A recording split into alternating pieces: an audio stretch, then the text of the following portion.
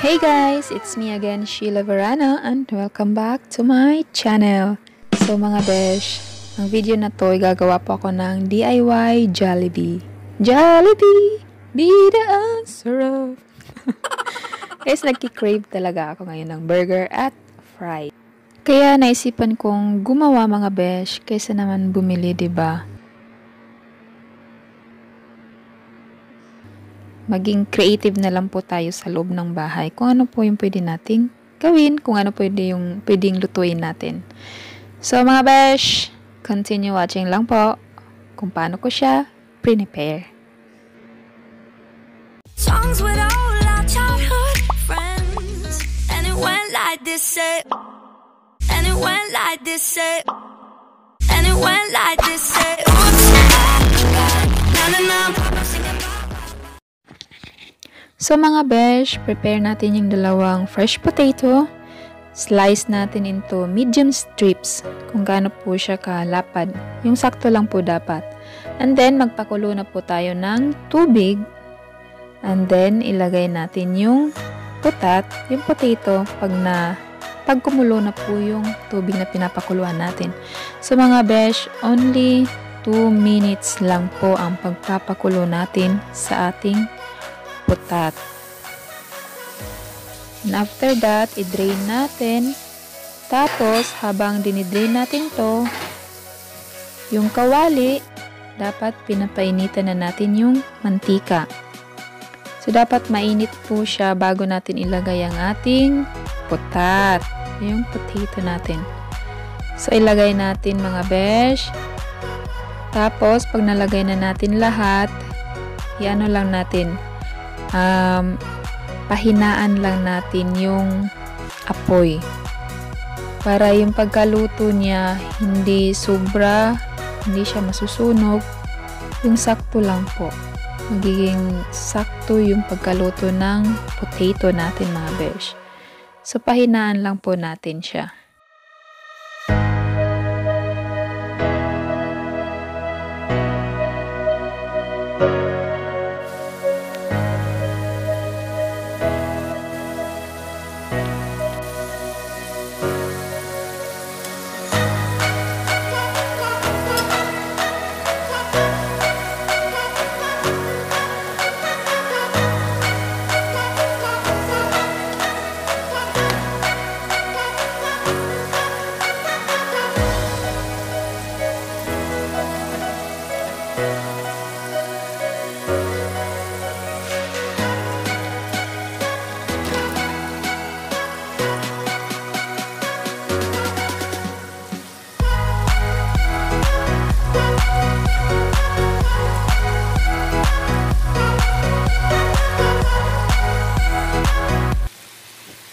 So, luto na siya mga besh.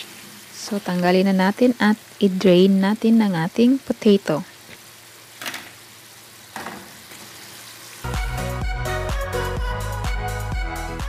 Okay, so next is prepare natin yung ibang ingredients like ketchup, mayonnaise, dapat meron din po tayong tomato, fresh tomato, lettuce, and one slice of cheese. Siyempre, tinapay, yung bread ng burger, and burger meat. So, ipiprepare natin yung burger. Lutuin natin mga besh. Hindi na po ako naglalagay ng mantika kasi itong burger na to na meat, naglalabas na po siya ng mantika at lalo na pag tiklon yung ginagamit nyo. So, ganito po siya. So, lutuin lang natin siya hanggang mag-brown. Okay, ganito mga besh at pwede na natin tanggalin. 12 seconds later. So now, prepare na natin ang lahat. Start for burger. Ilagay natin yung meat na burger na pinito natin. And then mayonnaise. 1 tablespoon of mayonnaise lang po ang nilalagay ko mga besh.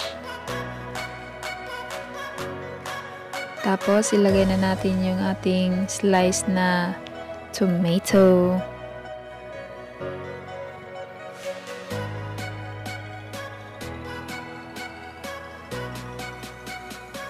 Tapos, ketchup. It's up to you na po kung gaano karami yung mayonnaise nyo or yung ketchup nyo. Sa akin, tagano lang, 1 tablespoon lang po.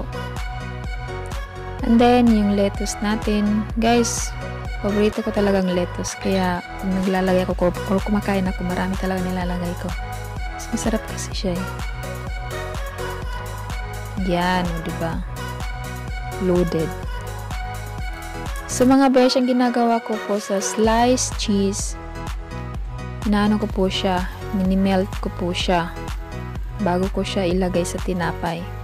So, mga seconds lang. Madali lang naman siyang mag-melt. Ginaganito ko lang po sa teflon.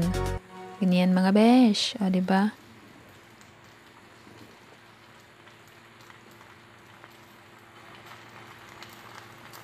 So, yan. Pwede na po yung ganito. Tanggalin lang natin at ilipat na natin sa bread.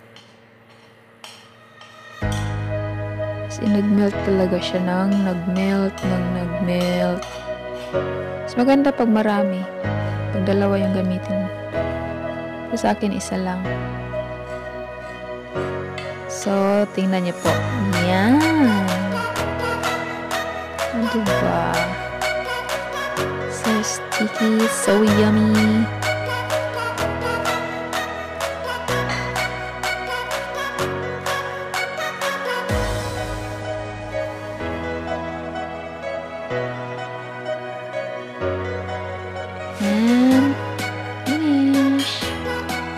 Lalagay ko lang po.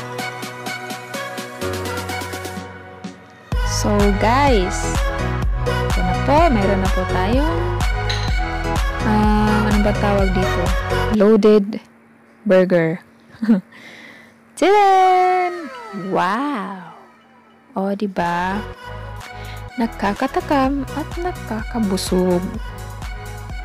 Halina at kumain na tayo mga besh.